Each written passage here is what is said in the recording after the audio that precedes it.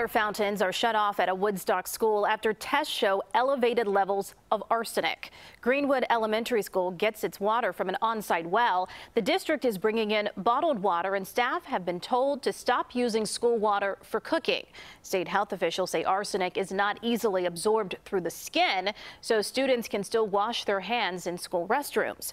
Arsenic is found naturally in the ground. The district says it is making improvements to its filtration system and is expected to have new water result tests next week.